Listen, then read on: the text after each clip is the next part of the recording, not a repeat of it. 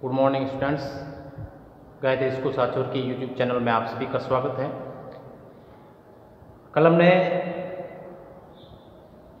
प्रश्नों के W H प्रश्न जो है डब्ल्यू एच से वर्ड से स्टार्ट होने वाले जो प्रश्न जो है, उनका उत्तर देने का तरीका जो है वो क्या होता है, किस प्रकार से उनको उत्तर दे सकते हैं तो कुछ रूल्स जो है वो हमने कल किए थे। अब उसके बाद उनके नेक्स्ट जो है रूल रूल नंबर फाइव लेकर के मैं आपके सामने उपस्थित हूँ। कल हमने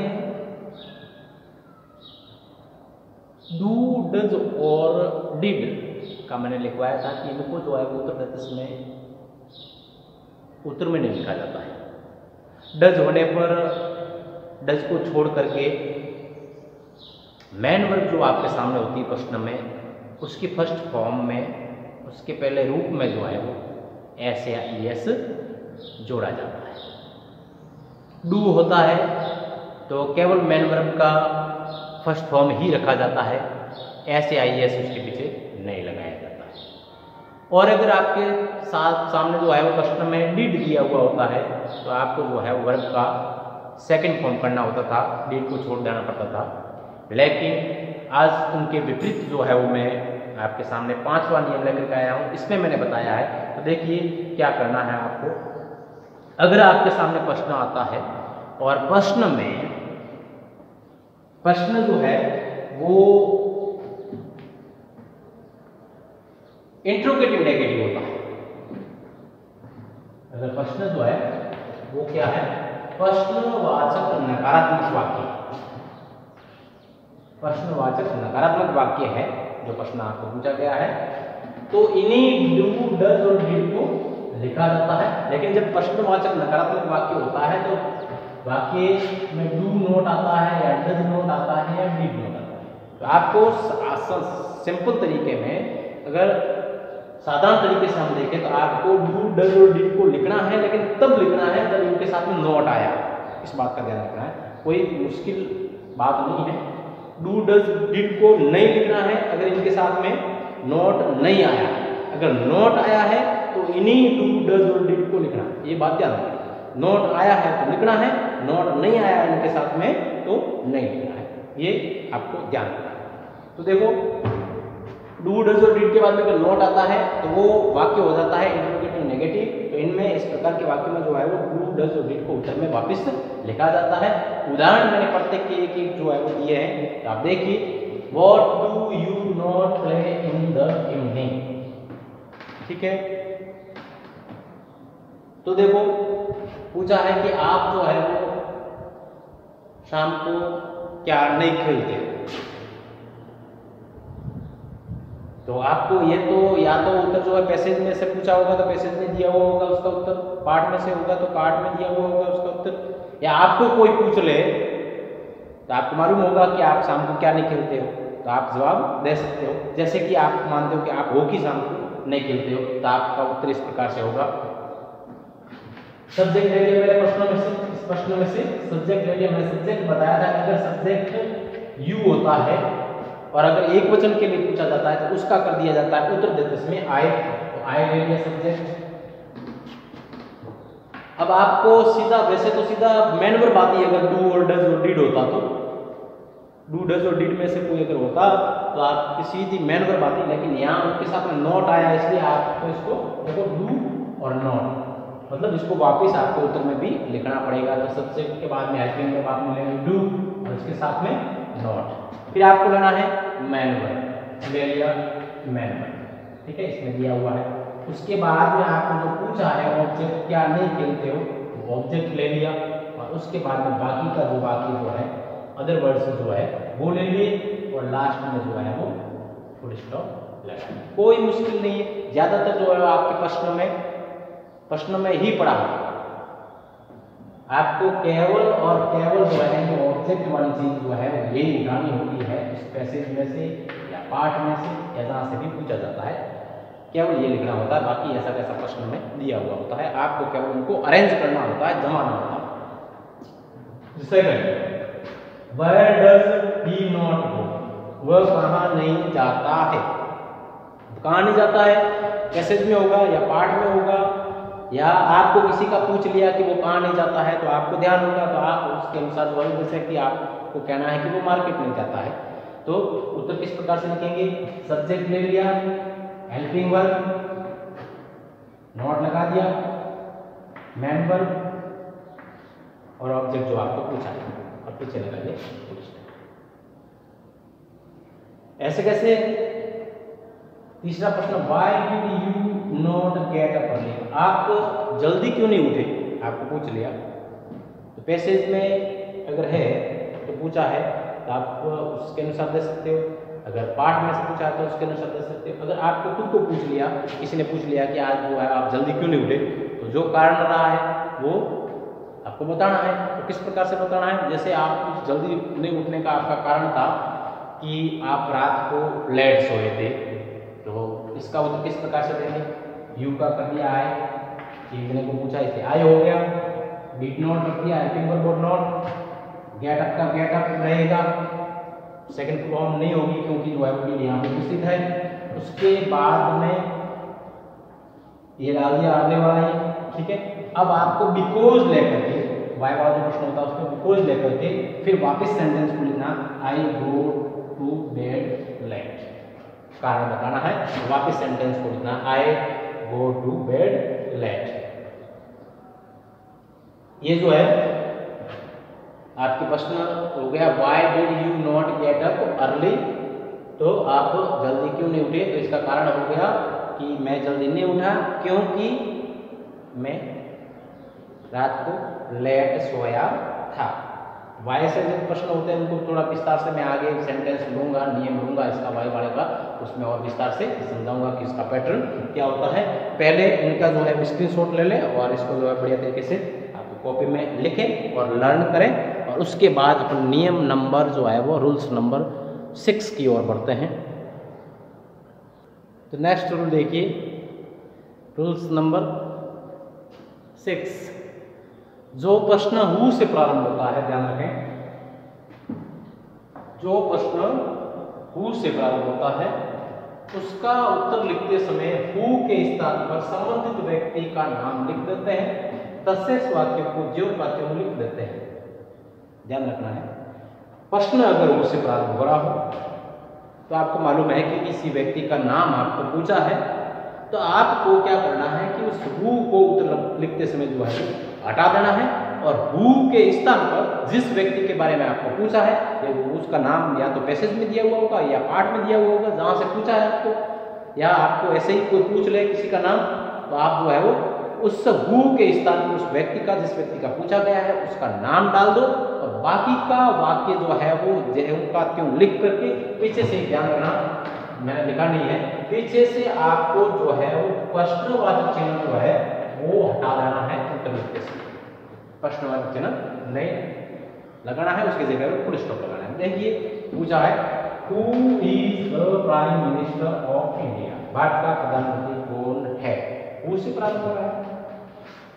आपको प्रधानमंत्री का नाम पूछा है, आज के प्रधानमंत्री का नाम पूछा है तो आपको नाम ध्यान है तो आपने हु को हटा दिया, हु के स्थान पर नाम लिख दिया, मिस्टर नरेंद्र मोदी। ठीक है? बाकी ऐसा कैसा वाक्य देखो लिखा हो जैसा प्रश्न में है, ऐसा कैसा लिखा हुआ है। और पीछे आपने फुल स्टॉप लिख दिया, क्योंकि ये साधारण वाक्य है, इसलिए प्रश्नवाचक चिन्ह जो है हटा दिया। अब जो है सातवा, जिसमें लिखा है, वाय से प्रारंभ होने वाले जो प्रश्न होते हैं, उनका उत्तर ढूँढने में बहुत आसानी रहती है। आपको दो बातों का ध्यान रखना है। वाय से जो प्रश्न पूछा गया है, उसका उत्तर अगर आपको पाठ में से लिखना है या पैसेज में से लिखना है तो इसके उत्तर में या तो because B E C A U S E because क्योंकि या टू जो है वो ज़रूर आता है। इनके उत्तर में वाई वाले प्रश्न के उत्तर में बिकॉज़ और टू जो है वो ज़रूर आता है या तो बिकॉज़ आएगा या टू आएगा टी ओ तो आपको ध्यान रखना है। तो आप आसानी से उसका उत्तर जो है वो ढूंढ सकते हैं। लेकिन इसका पैटर्न क्या होता है? इसके उत्तर का पैटर्न क्या होगा? तो देखिए, इसके उत्तर का पैटर्न वैसे तो जो है आपको प्रश्न दिया हुआ है। प्रश्न में ही जो सब्जेक्ट दिया है, उस सब्जेक्ट को लेना है। हेल्पिंग वर्ब अगर डू डज या डिड में से कोई दूसरी है, इसके अलावा डू डज और डिड के अलावा तो वो हेल्पिंग वर्ब लेनी है, उसके बाद मेन वर्ब जो है प्रश्न में दी लेनी है। उसके बाद में ऑब्जेक्ट जो है प्रश्न में, वो लेना है। प्रश्न वाला भाग ही लेना है डब्ल्यू एच वर्ड और डू डज और डिड को छोड़ करके, ठीक है? इस बात का ध्यान रखना है। और उसके बाद में आपको बिकॉज़ या टू लगाना है। बिकॉज़ या टू और उसके बाद में आपको सब्जेक्ट वापस लाना है। वही सब्जेक्ट शुरुआत वाला। उसके बाद helping verb do does did के अलावा अगर है तो और नहीं तो मेन वर्ब और फिर ऑब्जेक्ट और अदर वर्ड्स देखिए मैंने इस प्रकार के प्रश्नों में उत्तर में बिकॉज़ या टू से आता है तो उदाहरण दिए मैंने देखे why did Ram kill Ravan why से आपको मालूम है? मैंने बताया था कि वाई से आपको जो है वो कारण पूछा जाता है किसी चीज़ का, किसी बात का। तो राम ने रावण को क्यों मारा? कारण आपको मालूम है। लेकिन लिखोगे कैसे? पहले तो प्रश्नों में से सब्जेक्ट वगैरह ऑब्जेक्ट वगैरह वर्ग जो है वो सब ले लो। राम सब्जेक्ट दिया है। किल जो है डेट को हटाना पड़ता, मैंने पहले बताया आपने वर्ब का सेकंड फॉर्म कर दिया है और रावण जो है वो उत्तर में दिया हुआ है ऑब्जेक्ट उसमें प्रश्न में तो लिख दिया। प्रश्न वाला ही बाकी जो है वैसे कैसे लिख दिया, केवल जो है उसको वाई को हटाया है और डी को हटाया है, ठीक है? अब इसके बाद में आपने ले लिया बिकॉज़ क्योंकि कारण बताना है, क्यों मारा? अब वापिस जो है आपको सब्जेक्ट लेना है रावण को, ठीक है? क्योंकि रावण ने जो है वो कार्य को करने वाला यहाँ पर रावण है। कारण में जो आपको बताना है, उसमें जो सब्जेक्ट जो है वो चेंज हो सकता है तो उसका एक्शन का डुअल जो है वो अलग हो जाता है। इसमें देखो राम यहाँ तो मारने वाला जो राम को मारने वाला जो है वो राम है, इसलिए एक्शन का डुअल जो है वो राम है। लेकिन यहाँ पर जो है वो किडनैप करने वाला, अपहरण करने वाला जो व्यक्ति है डुअर है, वो है रावण। तो सबसे क्या रावण हो गया Ravan. Kidnapped Ram's wife Sita. ठीक है? और पुलिस को। तो आपको इस प्रकार से पैटर्न रखना है। और दूसरा प्रश्न है why did you go to Agra Agra क्यों गए? तो क्यों गए? इसके लिए पहले आई उसमें दिया है सब्जेक्ट दिया यू को बदल करके आई करना है। वर्ब दी हुई है कैसे कैसे रखनी है।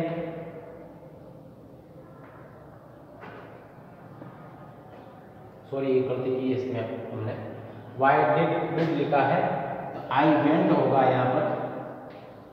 ठीक है? डिड हट जाएगा। आई वेंट टू आगरा फिर यहाँ पे तो लिख दिया उस प्रश्न में से, अब आपने टू लगाया, क्यों गए थे? कारण बताने के टू सी द ताज। आप ताजमहल देखने के लिए वहाँ पर गए थे। तो इस प्रकार से वाई वाले जो प्रश्न होते हैं, उनका उत्तरों का पैटर्न होता है। और ढूंढना चाहो पैसेज में तो इनके लिए आसानी रहेगी। आप अगर आपको उत्तर लिखना है, ऐसे ही सीधा लिखना चाहते हो, आप वाक्य में अगर सीधा दिया है, आपको पता लगाना है तो इसका उत्तर ढूँढने के लिए आपको प्रयास करना है, देखना है उस पैसेज में या पार्ट में कि बिकॉज़ जो है वो कहाँ पर आया है? तो बिकॉज़ से आगे जो एक सेंटेंस जो है वो लिखा हुआ होगा और एक सेंटेंस जो है बिकॉज़ के पीछे जो है वो जस्ट दोनों तरफ़ जो है वो लिखा हुआ होगा। तो जो है वो आप ढूंढ करके उसमें पैसेज में से लिख सकते हो और अगर बिकॉज़ वाला वाक्य नहीं है तो आप ढूंढोगे टू वाला वाक्य जो है वो टी ओ टू और उसके बाद में अगर वर्ब दिया है वर्ब का फ़र्स्ट फॉर्म यानी इन्फिनेटिव है तो आपको ध्यान रखना है कि जो है उत्तर वही होगा। अब जो है रूल्स नंबर एट लेकर के मैं आ रहा हूँ आपके सामने।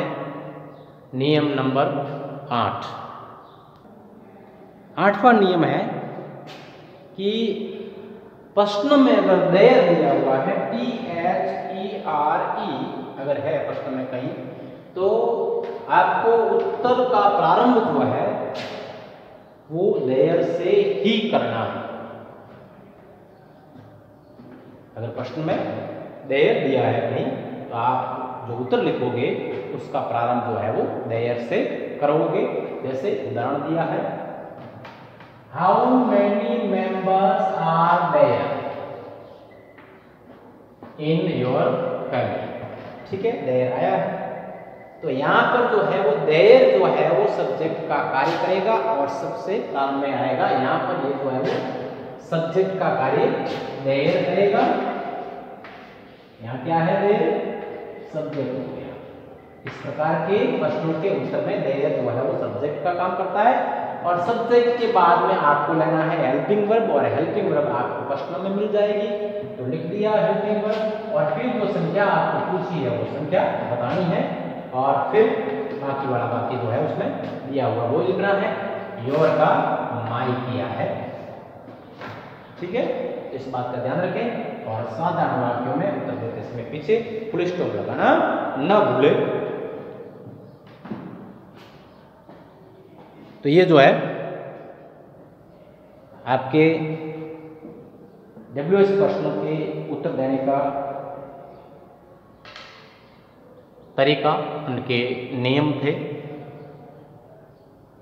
आप इनको इन दो वीडियो लेक्चर को जो है कल वाला और आज वाला जो है इसको ध्यान से सुनेंगे, समझेंगे, प्रयास करेंगे, कुछ प्रश्न ऐसे उठाएँगे अपनी किताब में से या कहीं से पैसेज में से वगैरह से और फिर आप जो है प्रैक्टिस करेंगे उनका उत्तर लिखने की। तो मेरा मानना है कि आप ज़रूर सफल होंगे और कोई परेशानी आपके नहीं आएगी और फिर भी किसी भी प्रकार की नॉर्मल कोई जो है वो कहीं आपकी परेशानी रहती है तो आप जो है वो व्हाट्सएप पर जो है मुझे पूछ सकते हो। मैं आपके उन प्रश्नों का जो है वो उत्तर देने का प्रयास करूँगा और इससे जो है वो हम जो है कम से कम जो है वो 90 परसेंट जो है वो क्वेश्चंस के आंसर्स जो है वो नाइन्थ टेंथ तक जो है वो आराम से ले सकते हैं बड़ी क्लासों में जो है थोड़े कॉम्प्लेक्स क्वेश्चंस जो है वो ज़्यादा पूछे जाते हैं तो उसमें जो है ये डब्ल्यू एच वर्ड वाला वगैरह थोड़ा कम मायने रखता है इसमें आंसर्स के पैटर्न्स जो है वो थोड़े चेंज हो जाते हैं लेकिन दसवीं तक जो है वो काफ़ी प्रश्न उत्तर जो है वो इसी प्रकार से जो प्रश्न जो है वो पूछे जाते हैं और उत्तर देने का ये पैटर्न रहता है। और आगे जैसे जैसे हम प्रैक्टिस करेंगे और जहाँ ज़रूरत पड़ेगी, कोई चीज़ ऐसी नई अपने सामने आएगी, कोई पैटर्न उस हिसाब से आएगा, उसका उत्तर इससे लिखने का तरीका जो अलग प्रकार से आएगा तो जहाँ ज़रूरत हुई मैं आपको समझाऊँगा। और आप जो है अब पाठ पढ़ाने के बाद आप स्वयं जो है कंप्रीहेंशन चेक वाले जो क्वेश्चंस जो है, वो उनका उत्तर लिखने का रफ कॉपी में रफ कॉपी में उनका उत्तर लिखने का प्रयास करें या फिर कॉपी में आप काम करते हो तो उनमें आप पेंसिल से काम करें, ठीक है? और जब मैं करवा देता हूँ वापिस तो आप जो उससे मिलान करके फिर जो है वो पेन से उसको सही करें। तो इससे प्रैक्टिस आपकी की हुई होगी, आप जो है उत्तर लिखना धीरे धीरे धीरे धीरे जो है वो सीख जाओगे। लेकिन बिना प्रयास किए आप अगर लिखते रहोगे तो आप कभी जो है वो प्रश्नों का उत्तर लिखना नहीं जान पाओगे और जब बड़ी क्लासों में जाओगे तो आजकल जैसे बच्चों की जो समस्या रहती है कि सब जो है वो इंग्लिश में प्रश्न याद नहीं होते तो प्रश्न याद नहीं किए जाते हैं, प्रश्नों के उत्तर जो है वो याद किए नहीं जाते हैं, उनको जो है वो सीखा जाता है, उसका पैटर्न समझा जाता है और उसके अकॉर्डिंग जो है उसका उत्तर अरेंज करके देना पड़ता है। तो इसलिए ऐसी समस्या आपके सामने ना आए, इसलिए आप शुरुआत से ही इन चीज़ों को जो है वो सीखना प्रारंभ कर दें। धीरे धीरे धीरे स्टेप बाय स्टेप आसान तरीके से जो है वो अपन जो है वो डिफ़िकल्ट वे की ओर जो है वो बढ़ेंगे। तो आप इस चीज़ को गंभीरता से लेकर के लर्न करें, इसका पैटर्न लर्न करें, इन रूल्स को जो है वो आप लर्न करें और प्रैक्टिस करें। Thank you